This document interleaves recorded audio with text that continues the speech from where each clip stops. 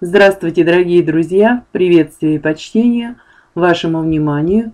Тема Марты – переход в пятое измерение, Земля и энергия Творца. Отец Абсолют читает Лора.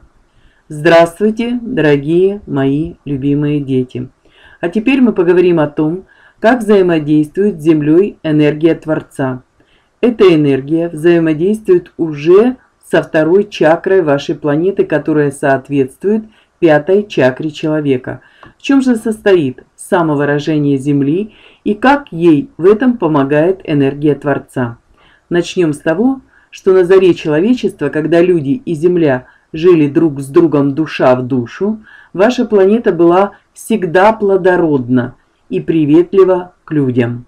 Климат был мягкий, и Земля одаривала всех своих обитателей обильными урожаями.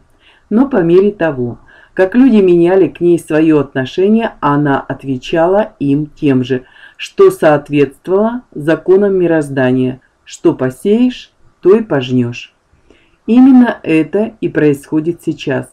В данном случае энергия Творца лишь способствует более мощному проявлению ответных мер по отношению к человеку со стороны вашей планеты. Чем больше калечат ее люди, тем сильнее воздаяние, которое проявляется в виде землетрясений, наводнений, ураганов, извержений, вулканов, цунами. И на первый взгляд Земля делает это не во благо людей. Но если следовать не человеческой, а божественной логике, то она наглядно показывает людям, как работают законы Вселенной и она становится для своих обитателей главным учителем. И в этом проявляется ее самовыражение на данный момент. Другими словами, сместились акценты ее творения. И тот, кто по-настоящему любит свою матушку Землю, сумеет это понять и принять, поскольку почувствует ее боль, признает ее право на самозащиту и одновременно на воспитание своих неразумных детей. Исходя из этой божественной логики, все то, что происходит сейчас на Земле, несет в себе не негативный разрушительный характер, а необходимый очищающий. Идет глубокая и серьезная чистка вашей планеты от накопления скверны, как физической, так и энергетической. У Земли нет другого выхода, так как она спасает не только себя, но и чистые светлые человеческие души способны идти вместе с ней по пути вознесения. И в этом, как ей, так и людям, чьи вибрации уже достаточно высоки, помогает энергия Творца. Мне хочется, чтобы вы четко понимали, родные мои, что даже трагические с точки зрения человека трехмерного мира события могут нести в себе светлое начало, пробуждающее человеческое сознание.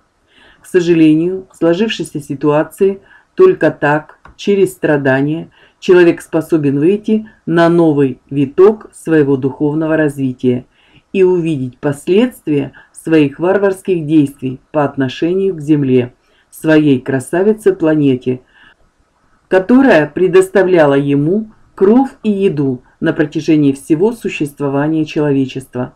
На этом мы остановимся сегодня – любящий вас безмерно. Отец Абсолют говорил с вами, приняла Марта. Вы прослушали тему Земля и энергия Творца. Маленькое дополнение. Сейчас очень много людей, у которых уже открыта пятая чакра, и, естественно, такие люди более творческие, более открытые, более продуктивные, эффективные в своей реализации. Поэтому сейчас, во время метроградного Меркурия, у вас могут открыться сверхспособности, сверхвозможности, утончиться ваши чувства, придут какие-то такие идеи, которые, казалось бы, вообще неосуществимые, но вам они будут уже даваться легко. Поэтому больше доверяйте себе.